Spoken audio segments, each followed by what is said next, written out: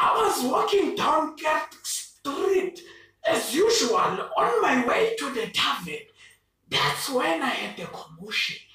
A group of people had gathered around, so I ran to go see what was happening. At first, I thought it was a sheep, a sacrifice of some sort.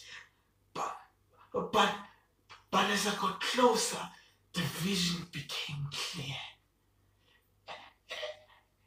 An arm, um, two tiny little arms, a fat little pot belly. A fat little thighs, and in between lies a mess like cauliflower, all gooey, bloody, shaped, raped, sodomized, disemboweled, they said.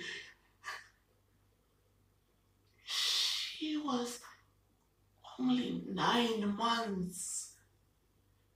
She was only nine months. Nine months just to say mama. Maybe just old enough to wave, to giggle, to smile, but she had been raped, sodomized,